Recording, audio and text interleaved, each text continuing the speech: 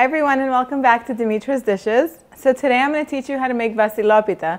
It's been highly requested on this channel and I'm bringing it to you. Basically what it is, it's kind of like a combination of a tsoureki and a brioche. It's a sweet bread that um, traditionally is served on New Year's Eve or New Year's Day and there's a little coin usually hidden inside and whoever gets it in their slice is supposed to have really great a really great year ahead of them. So it's fun, it's so delicious. It's a really delicious sweet bread and basically you can turn it into whatever flavor you like. We're going to go over the ingredients and then we are going to get started. So you can use your stand mixer if you want, if you have one. Otherwise you can totally do this by hand. Now, in my mixer right here, I'm creating what's known as a sponge and if you've used my brioche recipe, you've already done this. Basically what I did was I put some whole milk in here that was warmed up to like room temperature. And then I put some yeast, sugar, and a little bit of flour. And all I did is I let it sit in there for 25 to 30 minutes until the yeast begins to activate. And you want to do that just so that way, first of all, you'll know that your yeast is really alive and going to do its thing. And if it's not, throw this batch out and start all over. But if it is, you know, you're good to go. You want to do that step first. And then we have some flour over here. This is all purpose. It's not bread flour. I'm going to just add a little bit of salt to it. And then we're going to use mahlepi. Mahleb is basically, um, and I've ground this up, it's the pit of a cherry. It's so aromatic. There's really nothing else that smells like this. It's very characteristic of a tsoureki. You can use this. Another really common flavor you can use ground um, cardamom seeds or mastic gum. That's lovely too, but I'm just going to use this today with some orange zest. I'm going to put the zest of two oranges in here. You need some butter that's been softened and is at room temperature, unsalted butter always.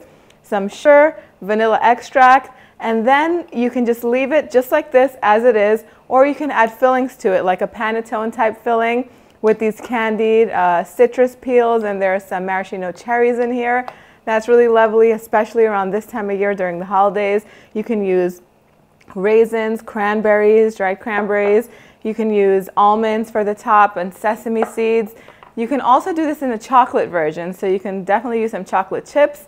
That the sky's the limit. Whatever is your favorite flavor, go ahead and put it in here. You know, it's it's Christmas time, New Year's is around the corner. It's a time where we really celebrate and have our favorite things this time of year. You don't have to worry about it. Just put your favorite flavorings in here and you'll be good to go. So now what I'm going to do is I'm going to zest these two oranges. You can also use clementines or lemon. Use these, two, use these two oranges to make yourself a nice cup of orange juice after this. And then we're going to put about a tablespoon of ground mahlepi or mahleb and give it a nice stir. And I have my eggs in here. I'm going to add about a cup of sugar and just combine it, mix it all up. And I'll also add my vanilla extract to these wet ingredients right here.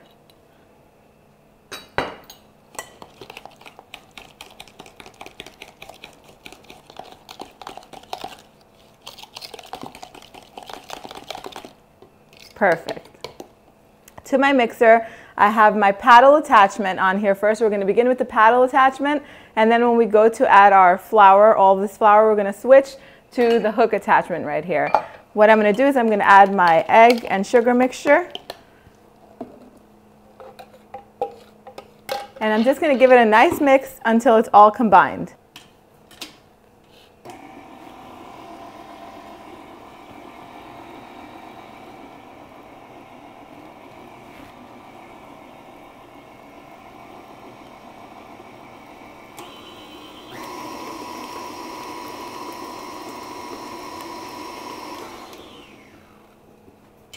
That's it.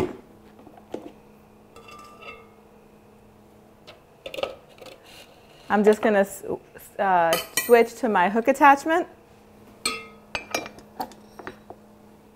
And then I'm just going to slowly add all of my dry ingredients, which is my flour and um, my salt and all of that, little by little. And I'm going to let it beat or knead, I should say, in the mixer for about eight minutes until it all comes together and it's going to be a nice, um, really almost like a ball.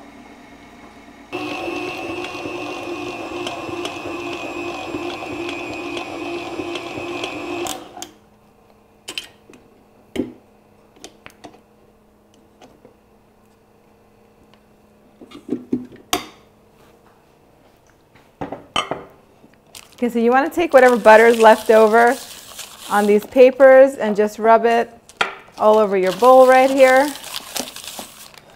And then I also have a 10 inch uh, by 3 inch deep uh, cake pan right here that I've lined with parchment paper. I just cut a circle that fits right in there in the bottom. And then what I'm going to do is I'm just going to rub some butter on this as well.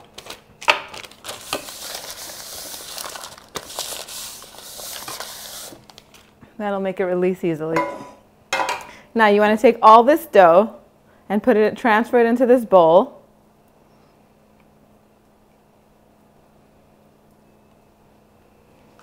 And I love these dough scrapers. I'll put the link down below if you don't have one or if you want to get one. They make transferring sticky dough like this very, very easy. They're also great for um, cleanup. If you want to clean up your work surface, it kind of helps you pick everything up and put it into wherever it needs to go. Everything is nicely incorporated. This is a very rich and delicious dough. So now I'm going to clean my hands up. I'm going to wash them.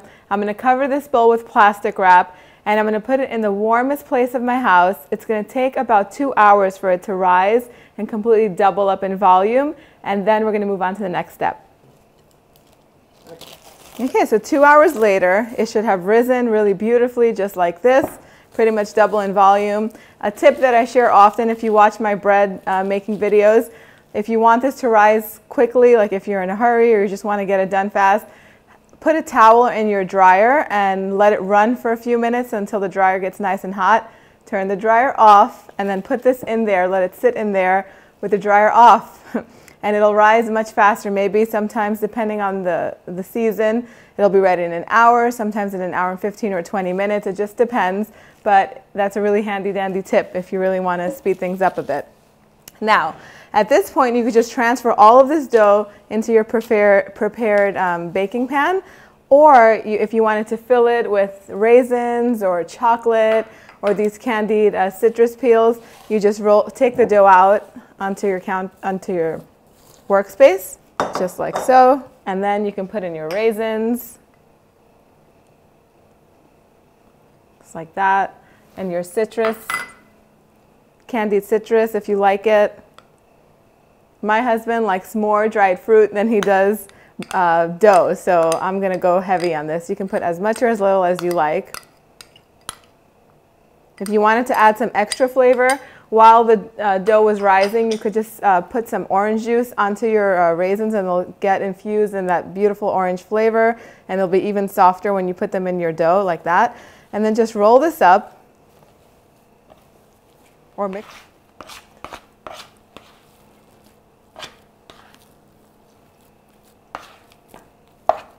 roll it into a circle and put it into your pan. Get all that in there. Now, I have a coin over here that I've wrapped in aluminum foil, and I'm just going to put that in there.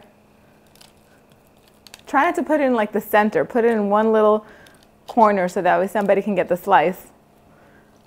And then just press it into your pan. Press all the dough around.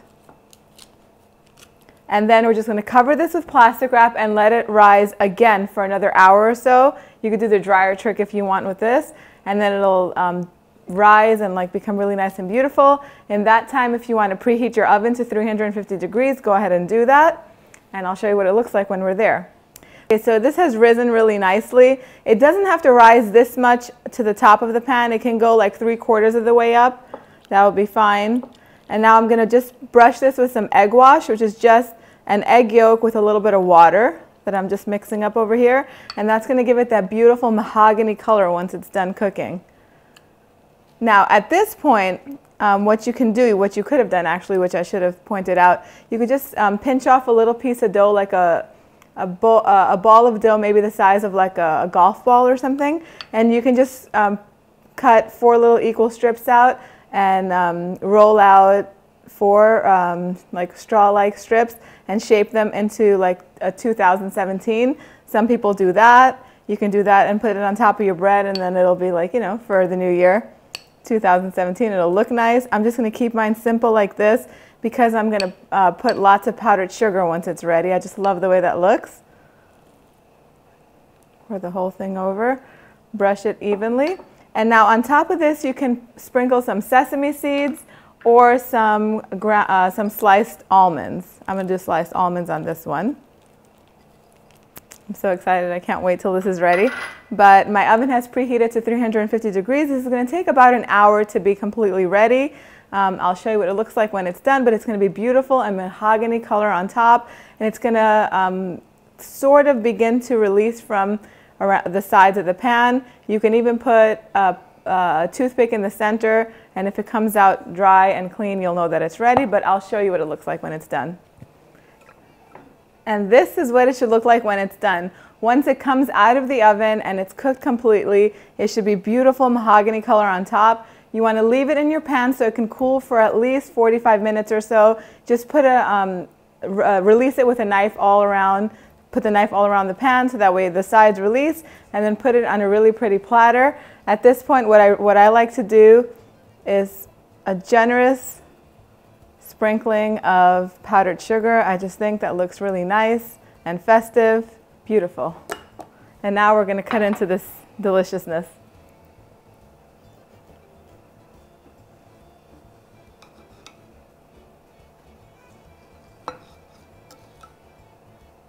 Look at that. Beautiful. With specks of the citrus, candied citrus in there. I cannot wait to take a bite of this. This is going to be delicious.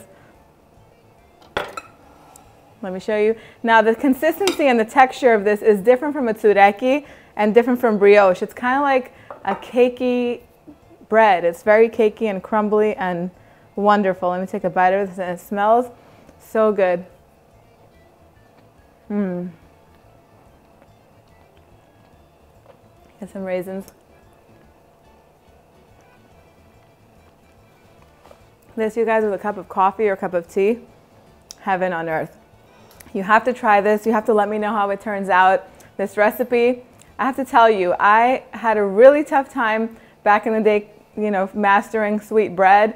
It was really just, it was a hit or miss really, but this recipe right here, I made it over and over again, guaranteed to come out perfect every time. I'm telling you, make this and let me know how it turns out. Comment in, this, in the comment section down below if you made it, what you want to learn how to make next. Share pictures with me on social media. I love to see your recreations of these recipes, and I'd love to know what you learned how to make next. Merry Christmas, everybody. Have a happy new year, and I will see you guys next time. Bye, everyone.